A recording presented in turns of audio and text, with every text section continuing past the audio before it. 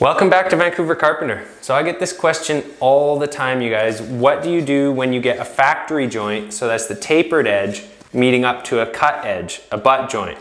So there is actually such a simple and easy solution that you're gonna be like disappointed you even clicked on the video to watch it. But if you don't know, okay.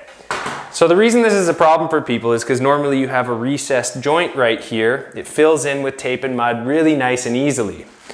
So as soon as you have a tapered joint meeting up to a factory joint, you've got this lip here that you can clearly see the daylight through. Now the solution to this is just pre-fill it, right?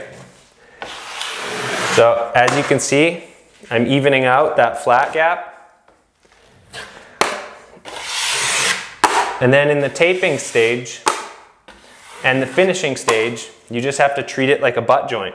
So it's that simple. You know, there's no big mystery to them. You just have to flatten out that surface with pre-fill, tape it, coat it, and that's what you do with one of those, uh, actually they're called, called joints.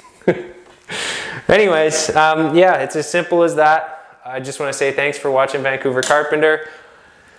Uh, yeah, go pre-fill all your butt joints. Till the next video, you guys.